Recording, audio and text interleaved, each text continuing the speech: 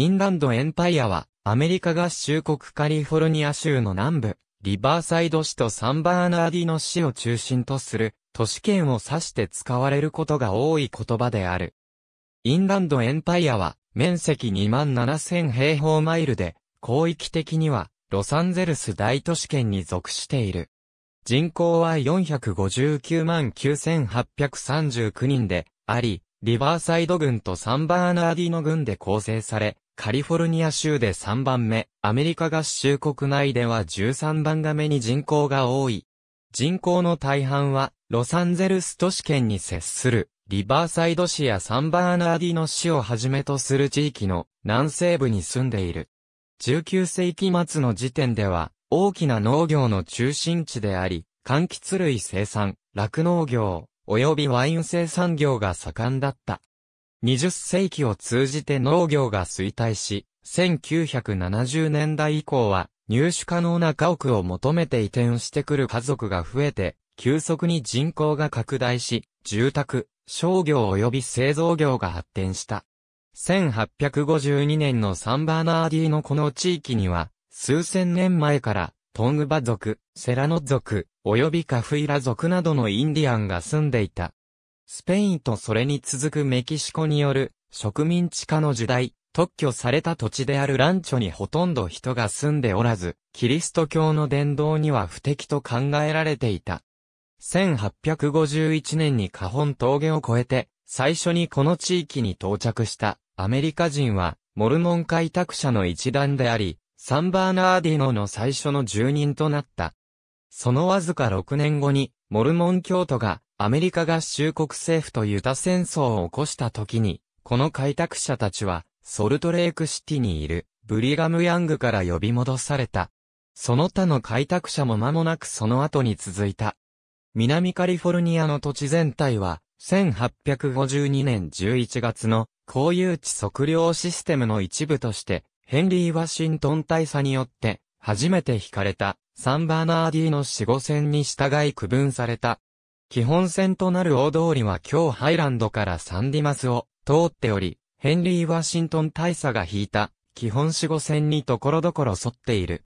サンバーナーディの軍は1853年4月26日に、ロサンゼルス軍から最初に切り出された軍だった。この時の区分けは、現在のリバーサイド軍の大半を含んでおり、見かけほど一枚岩ではなかった。コルトン、レッドランズ、リバーサイド及びサンバーナーディノの町が1890年代に軍庁所在地を争い、それぞれの町には独自の市民社会と独自の新聞を持つようになった。1893年8月14日、カリフォルニア州上院は、サンバーナーディーノ郡とサンディエゴ郡の領域から新たにリバーサイド郡を創設することを承認した。これはポモナがロサンゼルス郡から分離し、サンアントニオ郡と呼ぶ地域の郡庁所在地になるという法案を否決した後のことだった。アーリントンハイツの柑橘その1903年頃1870年代にこの地域に鉄道が引かれ、ネーブルやバレンシアオレンジの木が導入されたことで爆発的な成長が起こり、地域は、柑橘類生産の一大中心地になった。この農業景気は20世紀初めにコロラド川から水が引かれ、ロサンゼルス市が急成長したことで継続し、酪農業ももう一つの柱になった。1926年、アメリカ国道66号線が地域の北部を通って地域に観光客と移民の流れをもたらした。依然として、南カリフォルニアの柑橘類ベルトの重要部であり続けたが、第二次世界大戦が終わると不動産開発業者の新世代が広大な農業用地を郊外住宅用地に変えていった。サンバーナーディーのフリーウェイの前身であるラモナエクスプレスウェイが1944年に建設され、さらに高速道路体系が整備されたことで、インランドエンパイアと南カリフォルニア全体で郊外地域の拡大と移転者の増大が起こった。この地域は20世紀後半のほとんどの期間を通じて、著しい経済と人口の拡大を経験した。1990年代初期、冷戦が終結したために、地域から軍事基地がなくなり、近隣の軍需産業も縮小して、地元経済は減退した。21世紀への変わり目に、倉庫業、海運業、物流業及び小売業が主に、オンタリオ市を中心とする地域に発展して、この不景気から幾分は回復した。しかし、これらの産業も2000年代後半の世界的経済不況によって大きな影響を受けた。ユッカバレー、モロンゴ盆地内にあり、サンバーナーディーノバレーとアリゾナ州宗教との中間にあるインランドエンパイアを日本語に直訳すると内陸帝国となる。この言葉は1914年4月にはすでに新聞リバーサイドエンタープライズが使っていた記録がある。地域の開発業者が地域を広告し、特徴を強調するためにこの言葉を導入した可能性がある。インランドは太平洋から37マイル内陸にあり、ロサンゼルス市の東にあることから来ていた。当初はオレンジエンパイアと呼ばれ、20世紀前半にパサデナからレッドランズまで柑橘園が広がっていたことにちなんでいた。今日のインランドエンパイアは漠然とした地域であり、サンバーナーディーノとリバーサイド市を含んでいるのは、大方の一致するところだが、海岸部の大都市に近いオンタリオ、地のコロナ及び、ノルコという一連の都市も含まれている。サンバーナーディーノ山脈からサンバーナーディーノバレーを望む。円形は、サンターナ山脈ロサンゼルス市とインランドエンパイアを東西に分ける自然の境界は、サンガブリエルバレーとポモナバレーを分けるサンホセヒルズであり、ここからサンバーナーディーノバレーの都市人口集中部となる。南北方向のサンターナ山脈が物理的にオレンジ郡とサンバーナーディーノ、リバーサイド両郡を分けている。サンタローザ山脈とソノラ砂漠の南カリフォルニアに入る部分がリバーサイド郡とサンディエゴ郡とを分けている。インランドエンパイアの定義のあるものは、チノバレー、コーアチェラバレー、クカモンガバレー、マニフィーバレー、ペリスバレー、テメキュラバレー及びビクターバレーより構成されるものとなっている。地域の標高は、サンゴルゴニオ山頂の11.4999フィートから、ソルトン湖の海面下220フィートまで変化している。サンバーナーディーノ山脈には、サンバーナーディーノ国立の森とビッグベア湖、アローヘッド湖及びラニングスプリングスのリゾート地がある。サンタアナ川は、サンゴルゴニオ山から流れ出て、延長は100マイル近く、サンバーナーディーノ、リバーサイド、及びオレンジの各郡を流れ、ニューポートビーチとハンティントンビーチで太平洋に注いでいる。気温は山岳部で外して冷涼から寒冷であるが、バレー部では暑くなることもある。ジョシュアツリー国立公園に近い砂漠のリゾート地である、パームスプリングス、夏の気温が、下肢100度以上になることも多い。一つの中心となる都市の周りに成長した多くの都市圏とは異なり、インランドエンパイアは、リバーサイド、サンバーナーディーノなど多くの都市を中心にしている。都市スプロール現象によって、ロサンゼルス市を取り囲む、均質化された都市群を形成し、さらに開発が進んで山脈を過ぎ、外角の砂漠地帯にまで都市化が及んだ。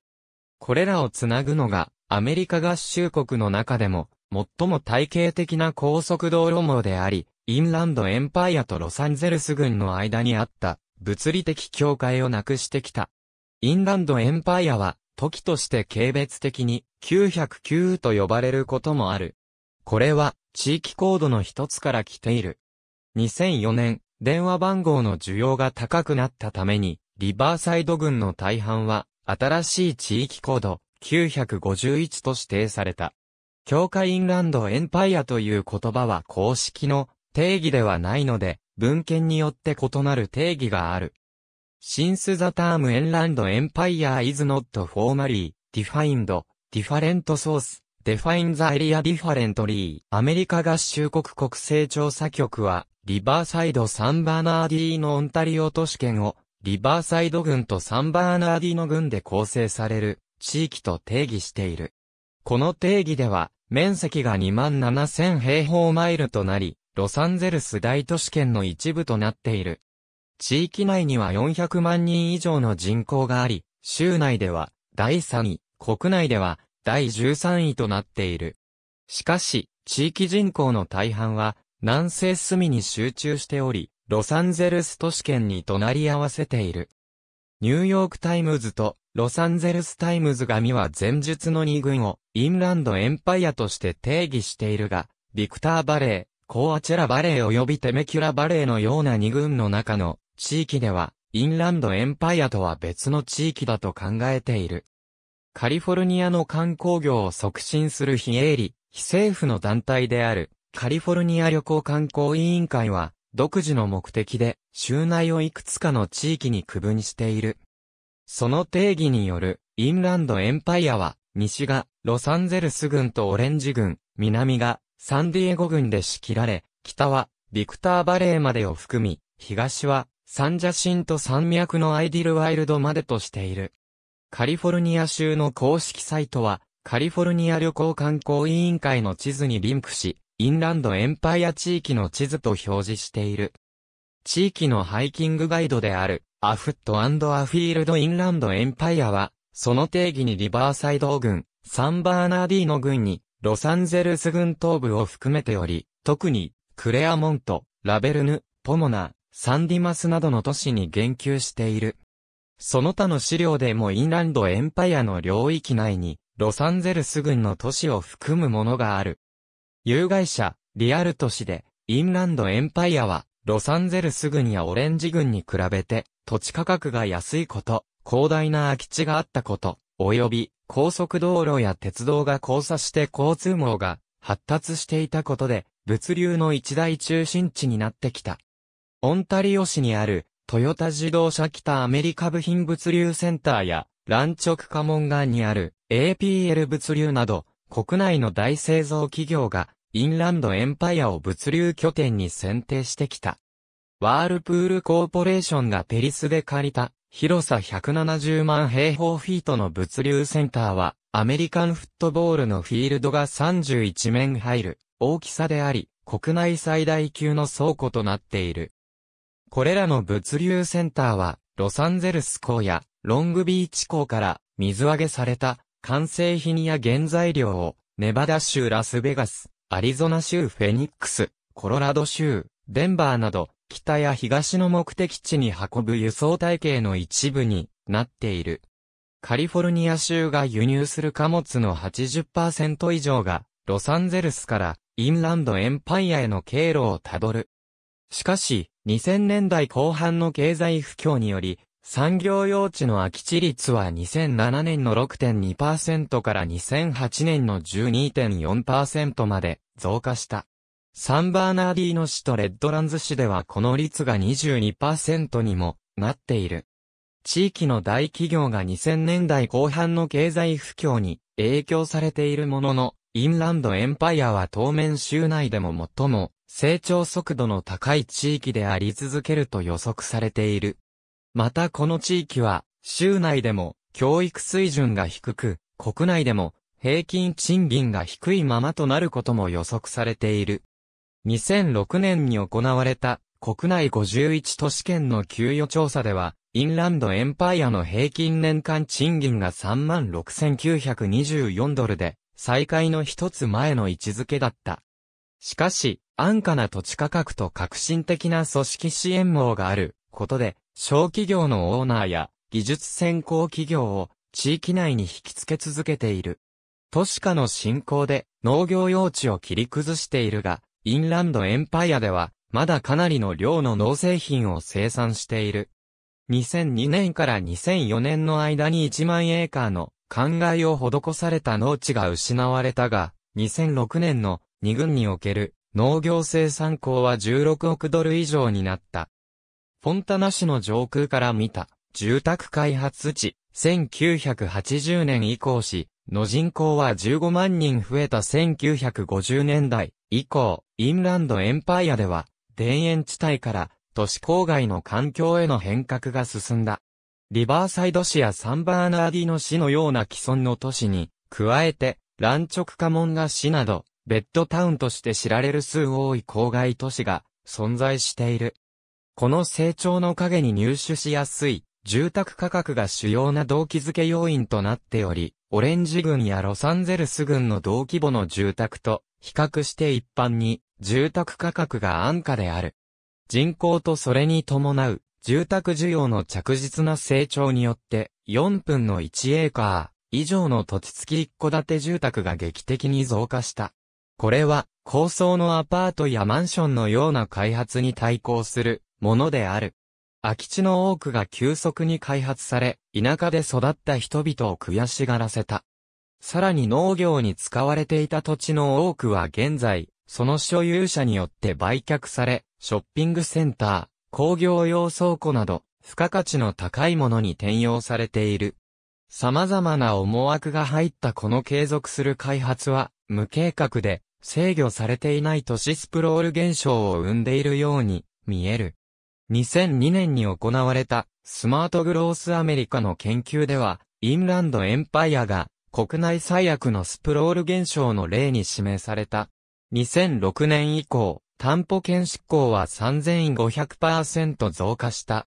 2010年、インランドエンパイアの担保権執行件数は133件に1件となり、国内でも4番が目に多い地域となった。ペリス市の場合、衰退した都市の外観を払拭するために、放棄された家の褐色の芝生を緑に塗る事業を始めた。地域の小売業は、急速に成長する、郊外人口と共に成長を続けてきた。地域内には、コロナ市のプロムナーデショップスアットドスラゴス、オンタリオ市のオンタリオミルズ、テメキュラ市のプロムナーデモール、モレノバレー市のモレノバレーモール、ランチョクカモンガ市のビクトリアガーデンズモール及び、サンバーナーディの市のインランドセンターなど大型のショッピングセンターがある。2006年会計年度で、サンバーナーディの郡の小売業売上高は11.9%、増えて312億ドルとなり、リバーサイド郡の小売業売上高は11.3%、増えて296億ドルとなった。インランドエンパイアでは常にスモッグが発生している。ランチョクカモンガのヘイブンアベニューを南から北端に向かって見た写真。通りがスモッグの中で霞み始め、遠くのサンタアナ山脈はぼんやりとしか見えない。進行中の発展の結果として雇用機会が大きくなり、住民の豊かさが増し、持ち家の人口も増加した。しかし、交通渋滞、大気汚染及び環境的に感受性の高い開放空間が失われたことがマイナスの効果になってきた。これらの問題の解決策は単純ではない。インランドエンパイアの中に数多い行政組織があるために、それぞれの将来に対して様々なビジョンを描いており、一つの解決策で互いに同意できる都市は二つとないし、改善策について不平等な手段があることが普通である。現行法と政策の組織化された強制がないこと、あるいは不平等な強制があることで提案できるであろう解決策を弱らせている。開発が進む速度は政府がその変化に対応できる能力を上回っており、新しい道路の建設や郊外対策など、解決策が実行に移されるのは10年単位とまではいかない今でも多くの年数を要することになっている。大気汚染すなわち、粉塵の問題は、地域内で増加した自動車、工場のような発生源、及び建設工事でもたらされた埃から発生しており、さらに、ロサンゼルス地域からの汚染物質によって、インランドエンパイアは、国内でも最悪に近い大気質の水準となっている。2004年、アメリカ合衆国環境保護庁は、サンバーナーディーのリバーサイド地域を国内でも最悪の売人汚染地域に指定した。大気汚染の問題は、インランドエンパイアの北と東が山脈に遮られていることから悪化している。これら山脈には、本来ならば、偏西風で地域内から持ち出されるはずの売人を保持させている。水質汚染もサンタアナ川やカホンウォッシュで発見されてきた。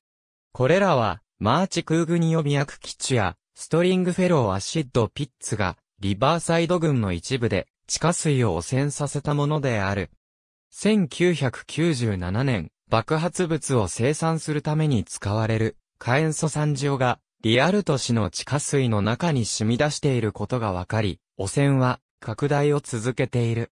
2007年、リアルト市市政委員会は発生源の浄化を行うために、アメリカ合衆国環境保護庁に、スーパーファンド適用の申請を行った。その発生源は、マーチ空軍予備役基地、ノートン空軍基地及びストリングフェローアシッド、ピッツであり、すでに、スーパーファンドの有毒物質汚染サイトとして指定されている。週間高速道路10号線と同215号線のインターチェンジ、サンバーナーディーの市中心街の南にある。交通渋滞の問題は南カリフォルニア共通の課題であり、単純化すれば自動車の数が着実に増加したことと道路網整備がそれに追いついていないことが原因である。既存の高速道路の多くは1970年代後半に完成した。フットヒルフリーウェイ、すなわち、カリフォルニア州道210号線のサンディマスと、サンバーナーディノの間の部分が例外であり、2007年7月に観光した。新しい高速道路あるいは、高規格道路のフィックスアップズが計画されており、例えば週間高速道路215号線のインランドセンターモール周辺への延伸、215号線と修道60号線をつなぐ橋などである。もう一つの問題は、食と住宅の不均衡である。概して高級が得られる食は、ロサンゼルス郡とオレンジ郡にある。このために労働者は既存の道路網で、片道2時間を通勤しなければならない。人口が増加するにつれてこの問題は、確実に深刻化の度合いを増している。雑誌、フォーブスが最近、この地域をアメリカの主要都市圏の中でも最も不健康な通勤地域に指定している。これはインランドエンパイアの運転者が最も不健康な空気を呼吸しており、また一人当たりの死亡交通事故件数が最も高いためである。地表交通政策プロジェクトの1999年報告書によれば、インランドエンパイア地域は交通渋滞を原因とする死亡交通事故件数でトップになっている。高規格道路と道路に付属するものから、銅、真鍮などの金属の窃盗が、インランドエンパイアの道路の安全性を損なっている。駐車している車からガソリンを抜き取る犯罪も問題にされている。メトロリンクの列車、フォンタナ駅で、インランドエンパイア地域には、他の主要都市圏とは異なり適切な公共交通機関がない。地域の労働人口124万9224人のうち、わずか5%足らずしか毎日通勤のために公共交通機関を利用していない。サンバーナーディーノ郡では、オムニトランスが、リバーサイド郡では、リバーサイド交通局が、最大の公共交通機関である。メトロリンクが、インランドエンパイアの多くの地点から、ロサンゼルス市に向かう通勤鉄道路線を運行している。リバーサイド市とサンバーナーディーノ市が、域内の2つの交通中継点になっている。インランドエンパイアには3つの主要空港がある。すなわち、ロサンゼルス市、ワールドエポーツが所有するオンタリオ国際空港、パームスプリングス国際空港及び、サンバーナーディーノ国際空港である。その他に、多くの一般用途空港がある。インランドエンパイア地域は、アメリカ合衆国国勢調査局によって、リバーサイド・サンバーナーディのオンタリオ都市圏として、大都市統計地域に指定されている。人口は約460万人であり、国内第13位である。さらに2000年国勢調査によれば、州内でも最も成長速度が高い地域になっている。1990年から2000年の間に、リバーサイド郡とサンバーナーディの郡合わせて70万人が増加し、増加率は26%だった。2000年から2010年の間には97万30人増加し、増加率29.8%だった。2010年の国勢調査では、住民の58.9%が白人、7.6%がアフリカ系アメリカ人6.1%がアジア系アメリカ人その他の民族と根血の合計が21.0%となっている。ヒスパニック系の住民は全体の47.3%を占め、南カリフォルニアの他地域同様、ヒスパニック系住民の割合の高さが際立っている。アメリカ疾病予防管理センターは2006年に、サンバーナーディーの都市圏住民の33.1%は、過体重であり、30.8%は肥満であると報告している。雑誌フォーブスではこの地域を国内で4番目に肥満が多い地域に位置づけた。2001年の調査で住民の過半数76.6%がそれぞれの在住群を生活するために良い場所だとしている。リバーサイド群住人の81%は大変良いあるいはかなり良いと回答し、サンバーナーディの群の場合は72%だった。その理由では、良い生活地域、良好な気候及び手頃な住宅価格が上位に来ている。両軍ともにマイナスの要因としてスモッグが第1位であり、第2位はリバーサイド郡で、交通問題、サンバーナーディーノ郡で、犯罪が挙げられている。インランドエンパイア地域は、伝統的に、カリフォルニア州の他地域よりも共和党を支持する傾向にあったが、居住年数の若い住民が長い住民よりも、共和党支持の比率が小さくなっており、民主党を支持するとした住民の比率34%が、共和党を支持するとした住民の比率33%をわずかに上回るようになった。実際に2008年、アメリカ合衆国大統領選挙では、民主党候補のバラク・オバマが、リバーサイド、サンバーナーディーの両軍を制し、1964年のリンドン・ビー・ジョンソン以来の民主党候補となった。しかし、投票率は、州内他の軍よりも小さく、人口が増えるにつれて、全体的に市民参加が弱くなる傾向もある。最近の住人の中で、わずか19%のみが市民団体に属し、9%のみが地域社会でのボランティア活動を行っていた。対照的に昔からの住人は28が市民団体に属し、15%が地域社会でのボランティア活動を行っていた。白人とアフリカ系アメリカ人は、最近の政治活動ほとんどすべてに参加率が高いのに対し、ラテン系とアジア系のアメリカ人は、ボランティアや団体の所属について、他の民族よりかなり低い率になっている。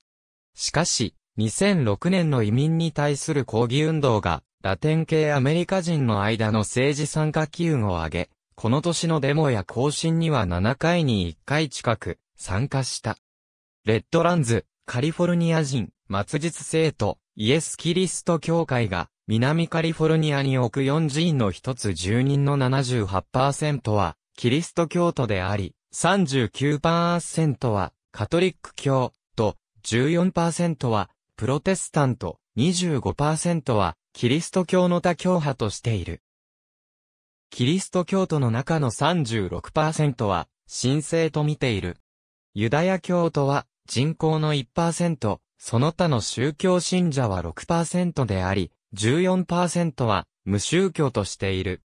住人の17%は週に1回宗教の礼拝に出席しており、14%は週1回以上、15%は月1回、14%は主要な宗教祝祭日にのみ参加している。リバーサイド市とオンタリオ市の犯罪指数は全国平均をやや上回る程度であるのに対し、サンバーナーディの市の犯罪指数は常に全国平均の2倍前後である。全国的な傾向を反映して、不況にもかかわらず2009年の指数は、暴力犯罪が全体的に減少するか横ばいとなった。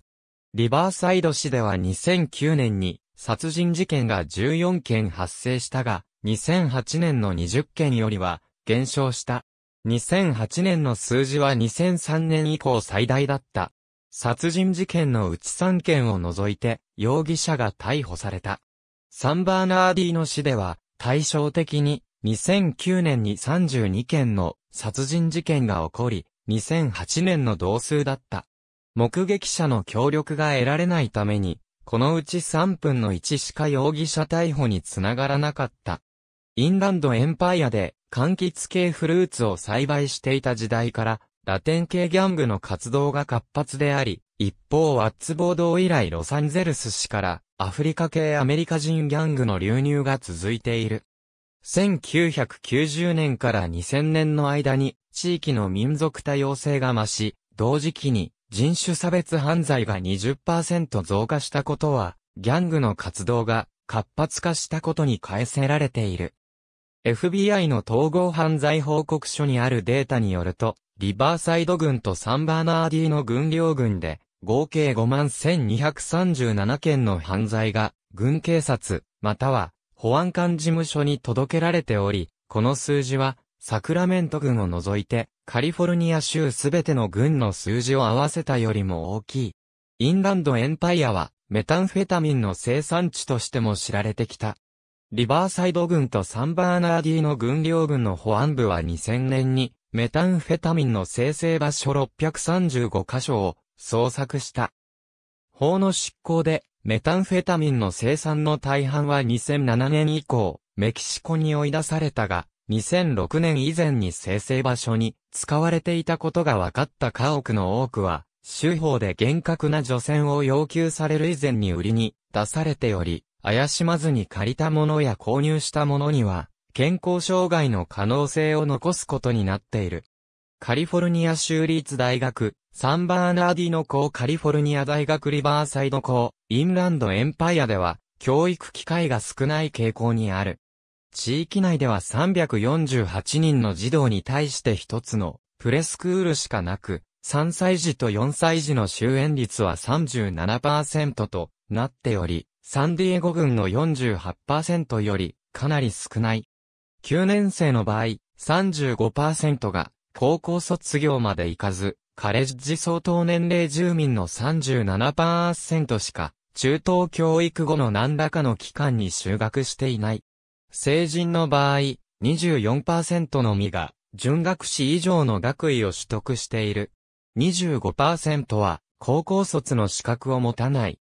カリフォルニア州立大学、サンバーナーディーの工学長のあるカーニグによれば、我々は、他の州の平均の半分くらいしかない低い、カレッジ修学率である。インランドエンパイアでは、カレッジ卒業者が約20%であるのに対し、多州平均では38%もあると語っている。地域の高校21校は、中途退学者の数で、カリフォルニアの100欠に入っている。25歳以上の住民の中で、2004年では、アジア系が、最も教育を受けている。44.4%は、学士以上を取得し、70%近くが少なくとも、カレッジに進学している。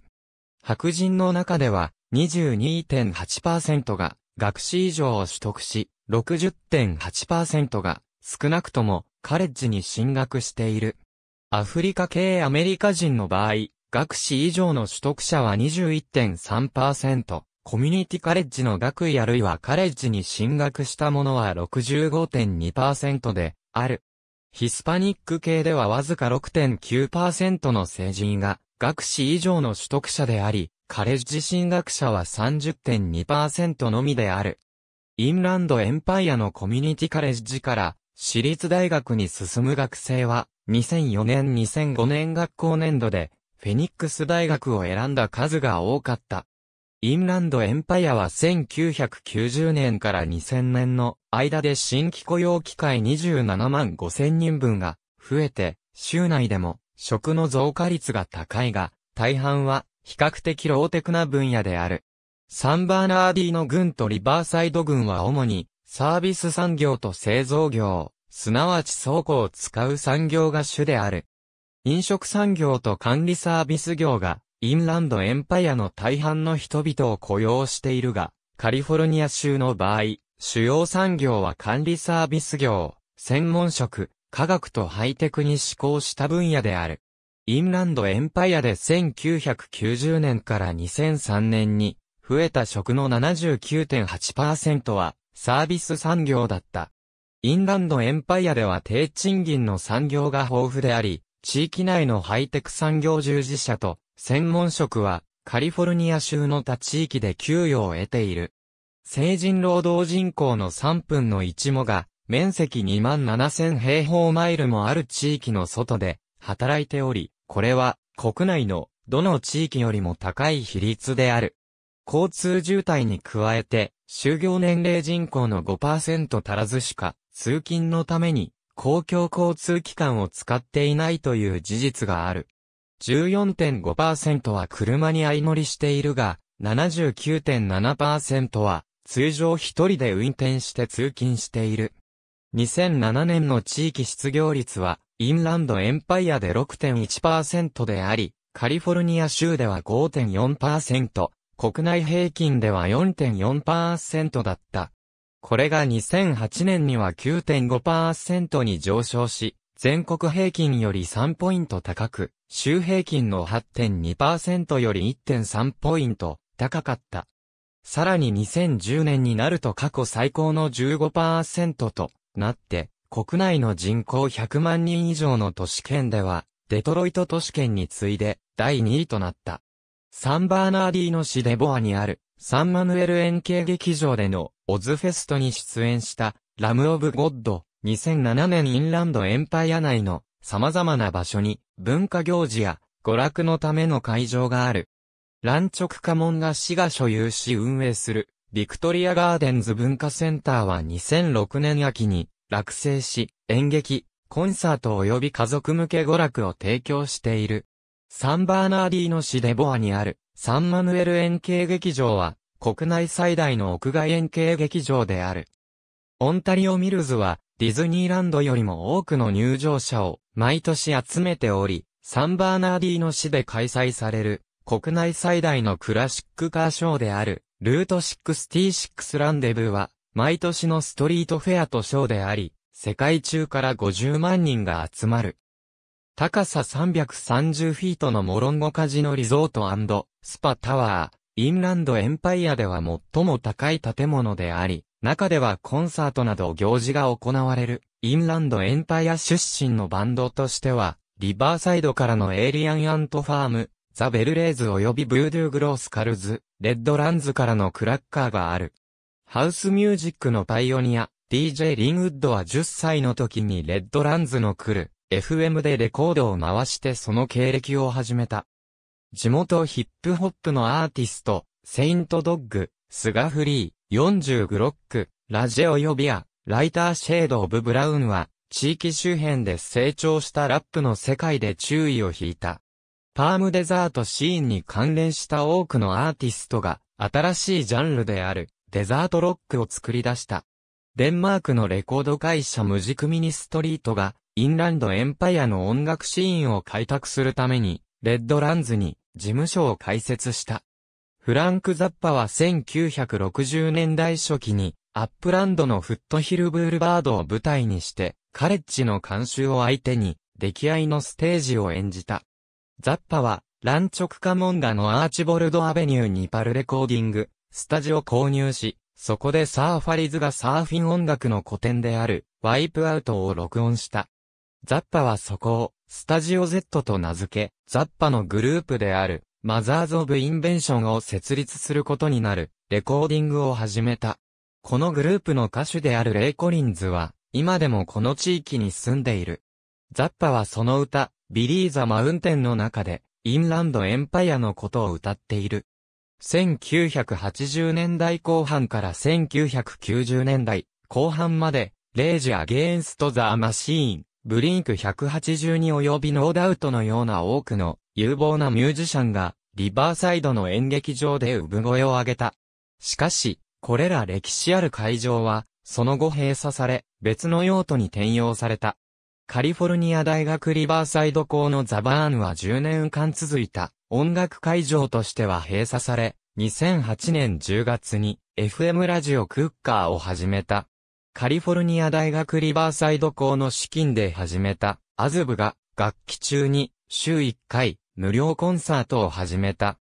インランドエンパイアの中に新規登場した。音楽会場としてはコロナのショーケース劇場、リバーサイドのレッドプラネットレコーズ、レッドランズのボールト、アップランドのバッファローインとザワイン、ランチョクカモンガのツインズクラブ、クレアモントのプレスレストラン、ポモナのグラスハウス、リバーサイドのバックトゥザグラインドコフィーショップ、及びリバーサイドのコモングラウンドサウンドステージがある。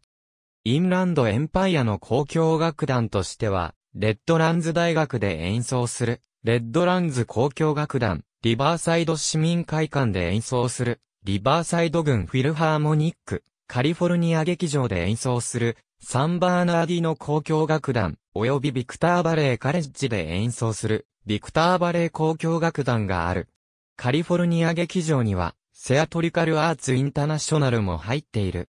この団体は、インランドエンパイアでは、最大の寄付者を基盤にするものであり、キャッツ、ヘアスプレー、マンマミーヤ及び、ミス・サイゴンなどのヒット作を含め利用できる最大のツアーを行っている。この団体には他にも多くの大型プログラムがある。オンタリオのチャフィー高校では秋と春に大変大掛かりな演劇をかけており、インランドエンパイアの中でも最大の高校演劇となっている。インランドエンパイアシクスティシクサーズ、アローヘッドクレディットユニオン公園で、インランドエンパイアは数多いマイナーリーグの野球、バスケットボールのチームがあり、オンタリオにはアイスホッケーのチームも一つある。最も優勝回数が多いのはサンバーナーディーノのインランドエンパイアシクスティシクサーズである。フォンタナにあるオートクラブスピードウェイは1997年にオープンした。ここには自動車レースのための楕円周回コース、ロードコース及びドラッグストリップがある。以前にあったオンタリオモータースピードウェイから約2マイルの位置にある。やはり、今はなくなったリバーサイド国際レースウェイはリバーサイド市の東約7マイルにあった。新聞インランドエンパイアには3つの主要地方紙がある。すなわち主にサンバーナーディーノバレーに配布されている、サンバーナーディーノ郡サン、インランドバレーデイリーブレティンの2紙は、メディアニューズグループが所有しており、さらに、リバーサイドを本拠にする、プレスエンタープライズは、地域内で、いくつかの版を出している。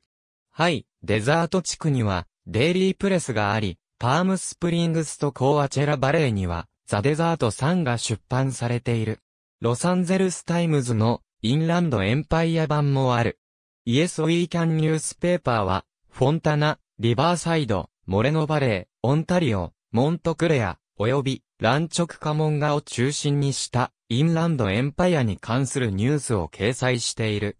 ウェストサイドストーリーニュースペーパーは、アフリカ系アメリカ人社会のために、ウォレス・ワレンが発行するサンバーナーディーノの地方紙である。ブルドッグウィークリーは、サンバーナーディーノ郡南西部のレッドランズにある、レッドランズ大学学生が発行する、週刊誌である。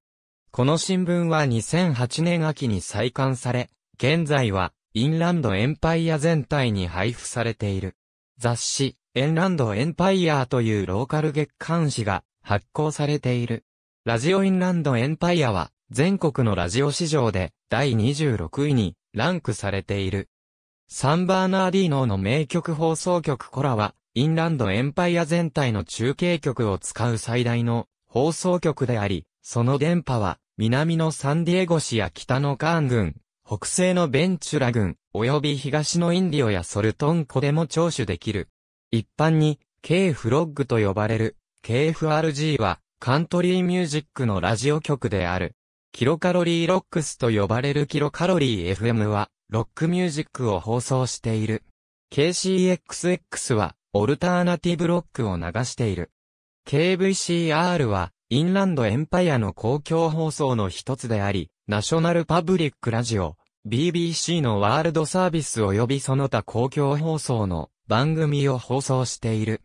カカ AM は地元で制作されたニュース、トーク、音楽番組を流し、NBC のニュース番組も地域に放送しており、著名なアナウンサーとして、ドニマス、ポール・レーンなどがいる。リバーサイドのクッカー FM は、カリフォルニア大学リバーサイド校の学生放送局で、ある。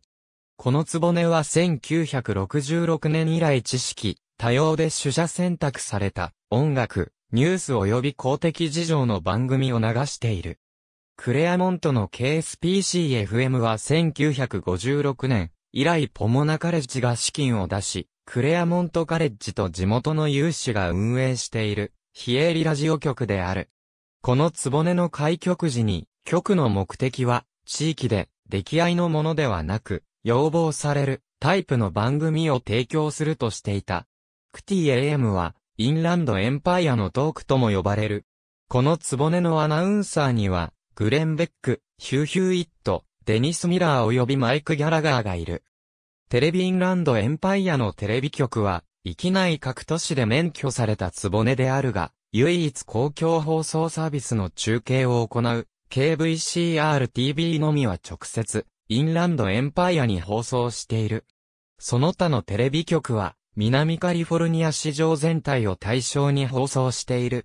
テレビ局の番組制作元は、ロサンゼルス市にある。インランドエンパイアの南部では、サンディエゴのテレビ局を制作元にしていることもある。ユカイパより、東の地域では、電波がパームスプリングス市場からのものになる。映画インランドエンパイアには大規模映画制作会社やスタジオがないが、2006年に2つの軍が映画の撮影現場になったことで6520万ドルの経済効果があった。1994年から2005年までに映画の撮影で総額10億ドル以上が地域で消費された。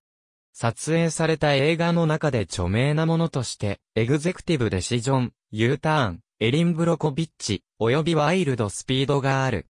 デビッド・リンチ監督の映画インランド・エンパイアは、この地域にちなむ命名だが、地域が撮影現場になることはなかった。ありがとうございます。